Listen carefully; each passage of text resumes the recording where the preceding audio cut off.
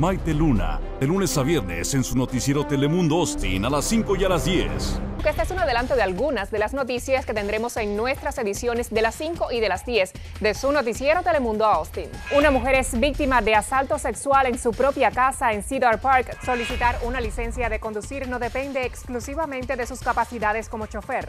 Continúa el éxodo de cubanos a través de la frontera. La policía de Buda investiga una serie de robos en vehículos. Un intruso irrumpe en el dormitorio de un de la Universidad de Texas State.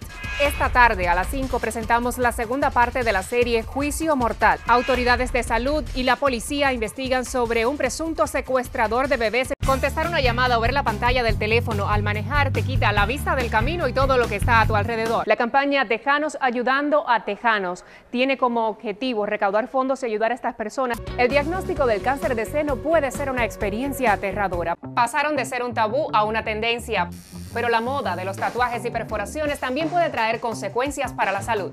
Dos, tres. Las vamos a explorar en el reportaje especial Tinta y Acero. Esta noche en su noticiero Telemundo Austin a las 10. Maite Luna, de lunes a viernes en su noticiero Telemundo Austin a las 5 y a las 10.